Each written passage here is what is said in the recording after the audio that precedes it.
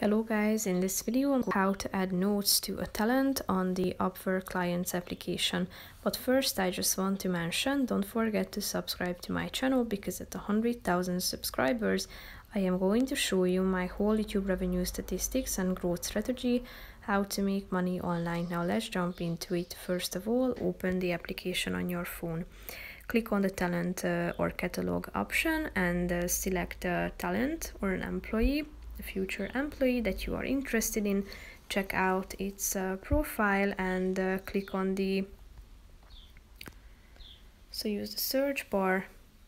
First of all to type in the name of the position that you are looking for select the talent scroll down and here you have the more button down below on the left side corner of the page. Click on it tap on add notes and here you can add notes about this uh, talent. For example what caught your eye about this uh, particular person? Type it in into the box. You can add uh, soft skills.